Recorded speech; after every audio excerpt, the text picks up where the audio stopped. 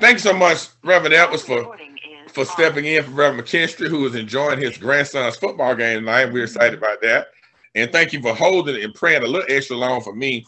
I got stuck at the um stoplight over here. I was getting my haircut, Deacon Thomas, and uh, it doesn't take very long. Yeah, it took me a little longer to get from the uh, when the, the train came. But I'm glad to be here. I just thank God for each of you uh, tonight, and I pray that you had a great day and, and, and today, and uh, and I pray that tonight the word of God would just strengthen us and give us even more joy. I think the thing that I've learned most about since we've been living in expectation 909 days uh, is that the joy, and I remember the book of Nehemiah where uh, as they had built the rebuilt the walls, they said the joy of the Lord is our strength. And I thought about it, and over over over the years, not just today, but over the years, what does that mean? What is the joy of the Lord? and the people of um, Nehemiah's time, the ones that come back from Babylonian captivity, first of all, rejoiced because they were out of captivity. Uh, second of all, they rejoiced because they saw the hand of God moving on their behalf. If you remember in the very beginning, the walls were decimate. They were decimated. They were broken down, burned, torn down. But they saw the hand of God in providing them for the material to build a wall, giving them the strength to build a wall, and then giving them the strength against those enemies that fought against them. You remember those guys, uh, Sanballat and all those people that sought against them. So, in, in recognize that, they said the joy of the Lord, like the knowledge of the Lord, the knowledge of the Lord, the joy of the Lord, that the not knowing Him causes you to have joy. And then being joyful in the fact that you know the Lord gives you strength. And that's what I think the word of God has done for us. I know it's done it for me. The more I read the word of God, I've been reading the word of God. We've been reading the word of God a long time. There's something about reading it every day it's like a wave. Every day you kind of it continues to hit you and lift you up, push you a little higher. And so that's what the joy of the Lord, uh, the word of the Lord has done. Give us more knowledge about who God is. As we've looked at the book of Romans, I believe that we've learned more and more and more and more and more about who God is to us, who He is. He's our sovereign God. But we've learned that his love for us was so much he gave us a Savior in Jesus. We learned so much that despite the fact that we stood guilty before God, no matter what our backgrounds were, that God gave us uh, through our belief in Jesus and belief that he raised Jesus from the dead, belief in him, that God said, because you believe in me and because you believe in my son Jesus, I'm declaring you righteous. What a powerful thing that God has done for us. What a mighty blessing it's just out of his abundance of love that all he was required of us to believe in him and he pours out on us justification. We've learned that. And that causes should cause us to have joy. That there's no more work for us to do, that the work has been done by Jesus on the cross. There's no more explaining to do. God has declared us righteous. And so, in keeping that in mind, every day of our lives, there ought to be some joy in there. And that ought to make us grow stronger with the knowledge of just how much God loves us.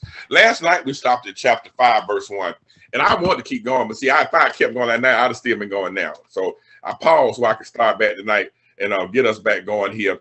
Are we talking about the benefits of, of our of our salvation, the benefits of being justified by God. Um, this for anybody who may have missed last night, I want to I gotta go back and just get if I can touch on ever so slightly. Uh, I gotta read this verse again, beginning at verse 17 through verse 25. Paul outlines a series of facts a series of facts that were related to Abraham's life. But at the same time, as he tells us at the very end, that, that they were his his life and his living and his belief in God was an example for us that we could receive the same thing that Abraham did. Yes, Abraham was declared righteous by God. Yes, God accounted to Abraham because he believed in him and his promises. But it gives us example of what we need to focus on in our Christian walk. I got to read it. Verse chapter 4, verse 17. He says, as, as it is written, I have made thee a father. God is saying this to Abraham of many nations. Before him, before God, whom he believed, even God. In other words, Abraham, as, as Paul outlines it, Abraham was made a father of many nations because he believed God. And then he tells us the attributes of God. God quickened the dead and caused those things which be not as though they were. But it also tells us that Abraham believed those attributes of God. Abraham believed that God brought the dead back to life and could bring the dead back to life and could call those things which weren't as though they were. He also said that one of the things Abraham did was his hope was so he had a sold out hope. I'll use that term. He believed, despite all facts pointing to it wasn't going to happen, he believed in hope. What was his hope? His hope was the word of God. He believed in hope against the odds. He believed in the promise of the word of God that he would become the father of many nations, according just because God said it, that he believed it. The Bible says in verse 19, what, what, what, what do I need to have in my life? We need to not have be weak in faith. He said he was not weak in faith. Why? Because of God's promise, he considered that his own body was not dead, or neither was Sarah's. He could he his and, and that word consider is kind of a it's a kind of a accounting term. Like he he looked at the situation. I'm old, Abraham, Sarah's old, but he looked over here at who made the promise, God. Can God do this? Me think about it. Yeah, he can. That's what kept him from being weak in faith because he considered it. He thought about it. And sometimes we got to think about a couple of things. First of all, we got to think about what God promises. Then we got to think about what God has already done. It's always amazing. I, and I say this about myself. We look back over our lives and we realize we where we are because God brought us here. How many know that where you are because God brought, brought you here? It wasn't because we were so smart, so slick, so clever, so intelligent. It was because God brought us through. There are a lot of impossibilities we've already faced, but God brought us through. And so understanding that, we need to consider, think about it sometimes. Well, they said this right here. Yeah, they said that back there, but here I am. God is able to do exactly what he said. That's why he was not weak in faith. Then verse 20 said he didn't stagger. Why didn't he stagger the promises of God? Why did he just, why was he so strong in faith? He, in the in the midst of what he was going through, in the midst of the waiting on the promise, he glorified God. That's a part of the package of the child of God we should constantly give glory to God. And again, this is different from praise. Giving glory to God is the act to give God credit for the attributes that he is that he has and that you have seen. If you've seen God as a healer, you can say that you're a healer. If you understand that he's magnificent, omnipotent, omnipresent, that the time in the life of the believer, we have to say it so that we can then have the expectation to what he has said, what he has what he has promised he'll make good on. Let me see if I can give one example. And this, I, I know this is always unfair because I make these sports analogies, and a lot of you ladies don't watch the sports. But let me give you an example. Um, most of y'all remember when the Falcons lost every year is going to Super Bowl. Everybody still, that's still, but those Atlanta Falcons fan, that still hurts. But what happened was many of us watched the game and we said, well, Tom Brady's quarterback. It ain't over. And then pretty soon we said they're gonna win because Tom Brady the quarterback. People had a lot of confidence. They they believed he was the greatest of all time, the GOAT, all this, that, and the third. And they looked at the game, even though the Falcons were up 27-3, they looked at it like they still gonna win. Why? Because Tom Brady was quarterbacking. We should have that and more as relates to God. God made the whole world out of nothing and the nothing that was, he made that. He created a world and said that to be light. That was light. Now here's the thing today. We learn this in Hebrews. God holds everything together by the power of his word. God speaks and it happens. I imagine sometimes that when it's time for the high tide, God said, high tide and high tide to come. Uh, sun up, the sun rises. The other day I woke up and it was cloudy. And um, I was like, where the sun at? You know, I was looking like I was worried because I thought I overslept and I wasn't sure. And I looked at my phone and said, well, sun's supposed to come up at 619. It's 6 What what's going on out there? And I'm this true story. I did think that, but I said, you know what? God got under control. I went back to bed. God controls everything by what? The power of his word. He speaks it and it comes to pass. So understanding that we should not stagger the promise of God, but we should constantly give glory to God. We should constantly acknowledge him as the only wise and almighty God. He's the only God. And, and because of that, we should just say, I'm trusting him. I'm riding him. I'm believing him. I'm taking him at his word. That's why I believe that Abraham did not staggering his faith. Bible says he was fully persuaded. That means he had no doubt. Somebody say he had no doubt. And sometimes in our life, we got to have no doubt. We got to have no doubt that God can perform what he promised. Because of that, it was imputed to him righteousness. And not for him, verse 23 is important, but it was for us as well.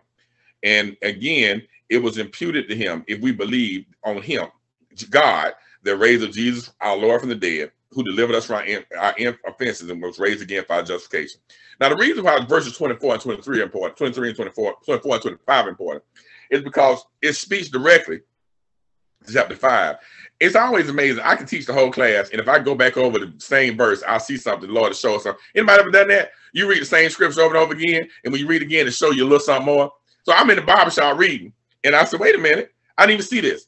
God's word lives. I want y'all to know that it's a living word. It's not God didn't just write a book and say, "Well, y'all got to figure it out for yourselves." It still it lives by the power of the Holy Spirit. So understanding verse 24 that God we if we believe on him that raised Jesus from our door from the dead, God, and we uh, and, and, understand that Jesus, our Lord, was delivered for our offenses and was raised again for our justification, that closes the case. The case is closed. Our justification is secure. Why? Because Jesus died for our offenses was raised again for our justification.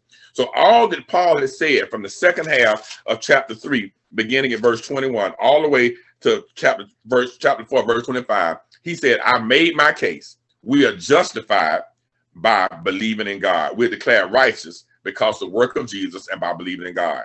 Now, in chapter 5, he says, Now, since the case is closed, y'all convinced now. I can't say, Y'all know it now. Justification is the only way to salvation. And you are justified by believing God. Because of that, verse five, verse 1, we have peace with God through our Lord Jesus Christ. Again, we have peace. I don't know if anybody ever had anybody owe them some money, but if somebody owe you some money, don't you kind of feel a certain way when you see them? Anybody had that happen? Now, don't don't raise your hands because I know. But, if somebody owes some money, be like, I wish they give me my money back. Why, why are you acting like that? The, the price of our sins was paid by Jesus. The debt was satisfied. The debt was satisfied. And as a result, God was no longer mad at us because of our sins. He called, and here's the truth. The, the, the, the, the, prayer I pray and be praying, and the sermons I preach to the unsaved, even the lessons I teach, the words we say ought to be wrought full of the fact that in Christ, we're that's where our salvation comes from, through the work of Christ by the love of God in giving us a Savior. And so we must tell the unbeliever, listen, God is mad at you right now. Somebody said, don't, don't scare them. No, they need to know. If somebody was driving, you in the car riding down the street with somebody and the police was chasing you, wouldn't you tell them to stop? Because ain't no sense in running because you're to get caught some point anyway. Isn't that right? When the sinner is, is to have to get caught, going to have to pay the price. But it's better to be saved in Christ than to be running and think you're getting away because you're not going to get away. Why? Because we talked about this in verse 3 the day of wrath is coming, the day of God's anger is coming. And as long as we're not in relationship with God through Jesus Christ, God's wrath will be poured out on us. But all we got to do is believe in God, and God declares peace with us. I'm whoo. Mm. Just believe. And God says the battle is over. He turns his lights off and we are de delivered into his presence. We have peace with God as a result of being justified by faith. That's eight. That's just one. I said I was going to try to get some more tonight. Then let me see. Let me see if I got more time left. Okay, I got a little time left. Verse two. He says, in addition to that, we also have access by faith unto the grace, the unmerited favor of God, where we stand and then are able to rejoice in the hope of the glory of God. So let me break that up in two sections. As a result of being justified by faith, we have peace with God. That's number one. So Thomas out there now for me. Number one, we have peace with God. Number two, we have access. Let me stop there. Access means we have the ability to come in and come out. If somebody says, you know, like if you go to the Braves game, you got your ticket, you can go in and out. Why? Because you have a ticket. You have access. Nobody's gonna stop you and say, well, your ticket. They're gonna say, just come on in. You know, you you you got you you got access. We have access through our belief in God, and because we're justified by faith, we have access by faith. Now, the faith will be our ticket. As we have faith with God, as we have faith in God, we have access to Him. But as we walk in faith in God, we're constantly able to experience this access constantly. As long as you have faith in God, and it's not like God pulls away from you, you just can't walk in there um, without having faith. I, I, said this story a long time ago, but let me tell it again today because it happened again the other day. I went to this bank. I went to the doctor up in Buckhead and I had to get uh, some cash. So I went, I Googled and said, where's the nearest Bank of America? And said, it says Bank of America video at Peachtree Road. So I didn't know what that meant, but I rode over there. It was about a quarter mile away. And when I got to the door, the door was locked. And I saw all of these teller machines and I saw these video machines, but I couldn't get in and I kept pulling the door. And finally, I looked at the thing and said, put in any debit card to open. So I put out my debit card, stuck it in, and the door clicked. I had access to the bank.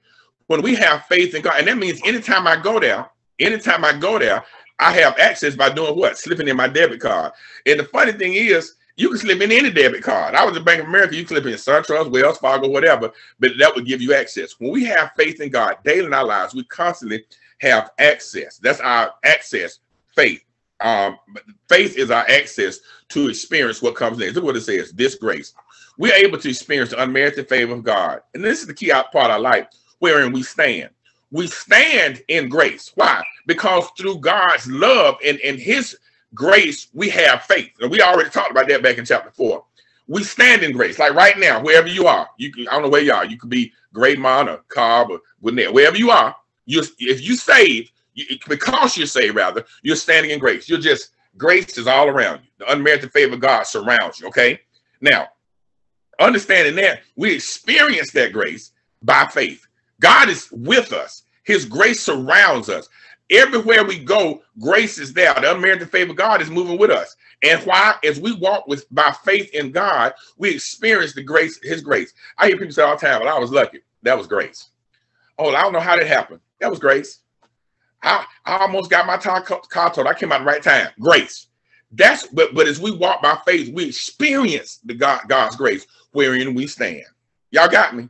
That making sense right now?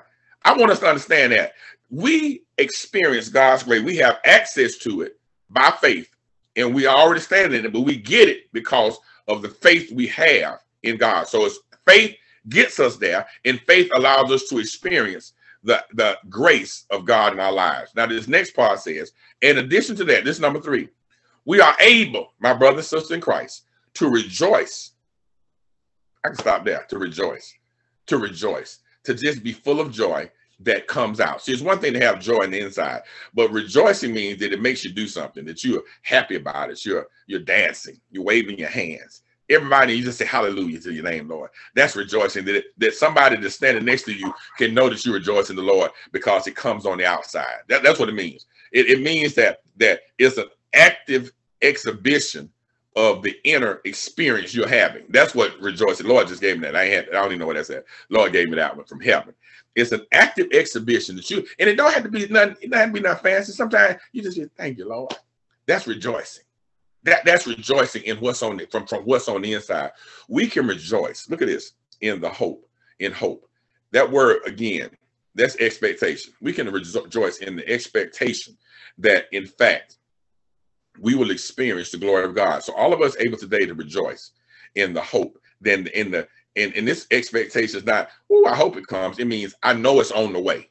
I know it's coming of the glory of God. What does that mean? That means that we're living daily with the knowledge that we will experience in in in, in eternity the glory of God, the weight of God, the presence of God. Yeah, we got to sometimes we got to deal with folk down here, but one day we're gonna be in the presence of God. We're gonna experience the glory of God. That's ours. So we can just we can just think about that. Sometimes when you're going through, just say, you know what, the glory of God is, is waiting on me. I'm I'm on my way. I'm on my way. I'm on my way to, to a better day in the presence of the Lord. Somebody said that's a long way away. I don't know how long it is, but I'm looking forward to it. I don't know if it's tomorrow, uh, 10 years from now, whatever it is, I'm looking forward to it because it's ours. I can rejoice in because it's ours because we've been justified by faith. I'm going to do one more verse if y'all don't mind. Verse 3 says this. So that's three right there. Peace with God, access by faith to his grace where we stand, and we're able to rejoice in the hope of the glory of God. But Paul almost like Paul said, wait a minute, that ain't it. Look at verse 3. He said, not only so. So what he's saying is that ain't it. Before you before you get too happy, I got some more for your happiness. He says, but we also able to glory in tribulations also. Now, glory. We rejoice in the hope of the glory of God. We're able to glory in tribulation. Paul, what are you trying to tell me?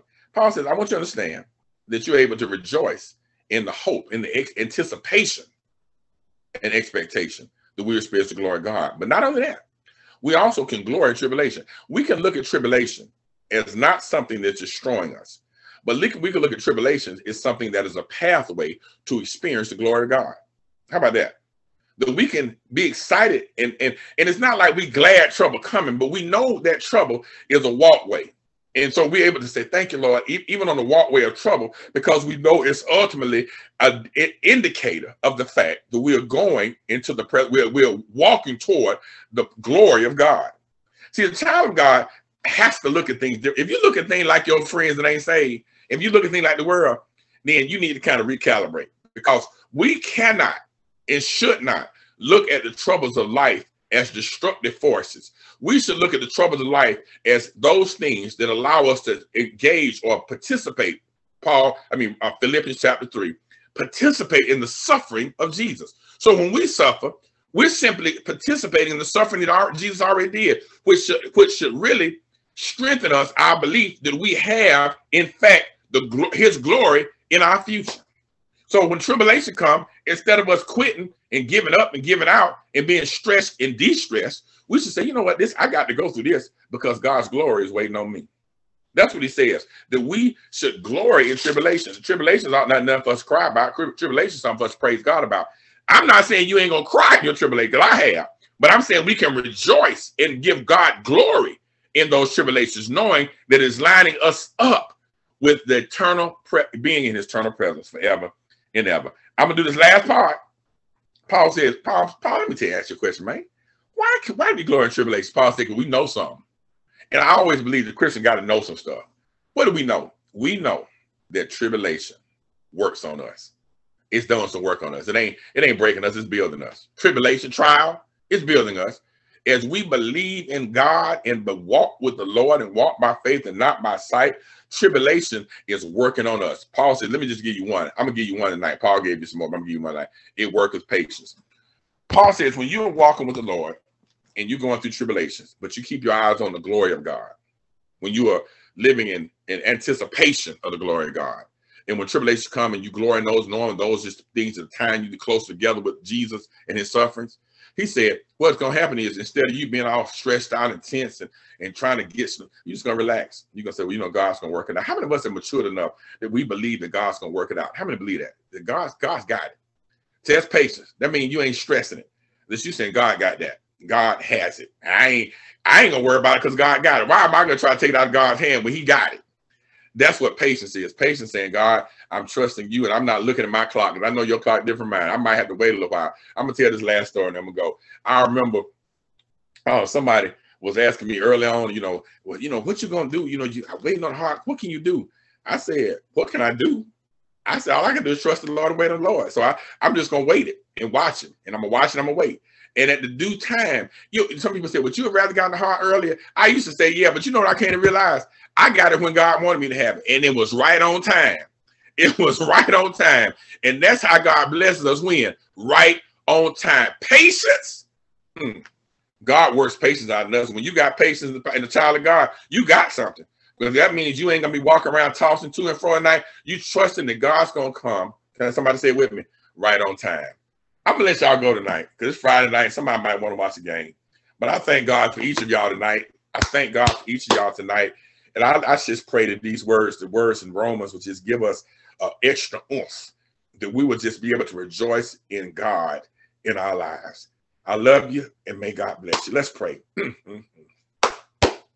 Father, in the name of Jesus, we come tonight praising.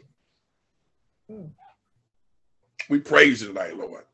We thank you tonight, Lord. We honor you tonight, Lord, because you are sovereign, magnificent God. You are our God, and your love for us was so strong that you gave us your only begotten Son, Jesus, to die for our sins.